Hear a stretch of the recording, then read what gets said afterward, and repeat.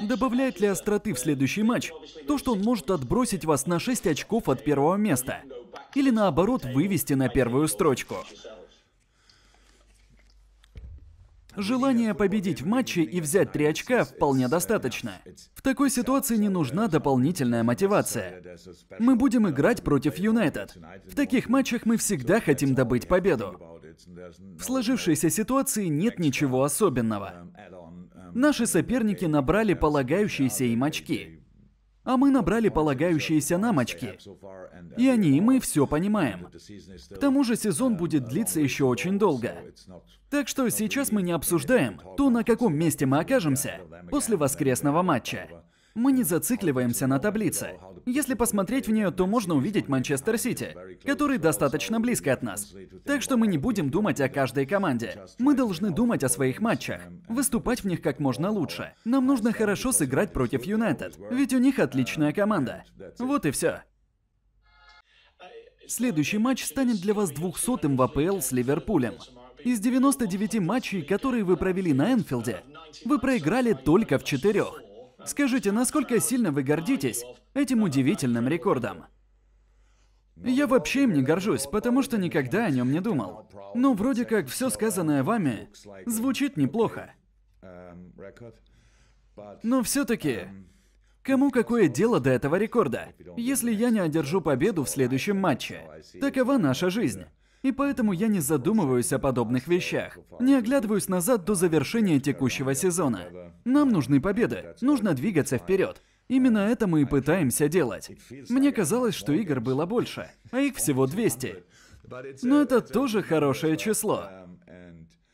Так что да, это неплохо. Но думать здесь не о чем. Что вы можете сказать о запрете на празднование голов? Для поддержки идеи социального дистанцирования.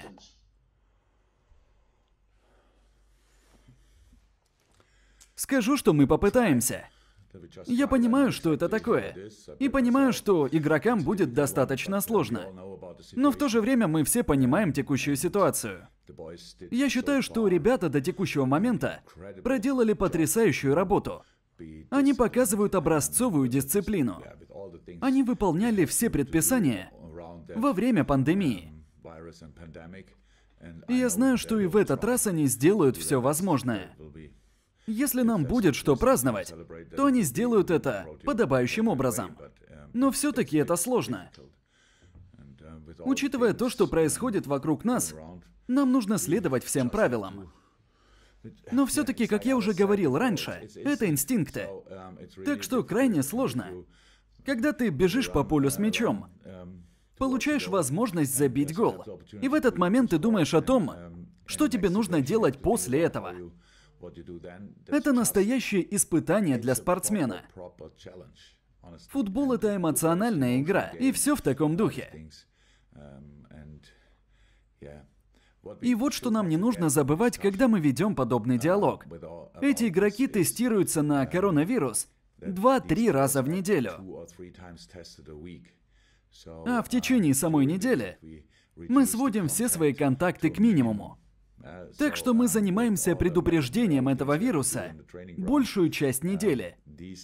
И в те моменты, когда мы играем, а это 2-3 раза в неделю, я считаю, что игроки должны думать в основном об игре, а не о том, что они должны делать помимо своей основной работы.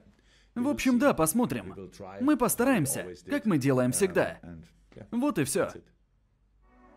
Видео переведено и озвучено специально для канала Sport.ua. Поддержи канал подпиской. Также нажми колокольчик, чтобы не пропускать новые видео. До встречи в новых роликах.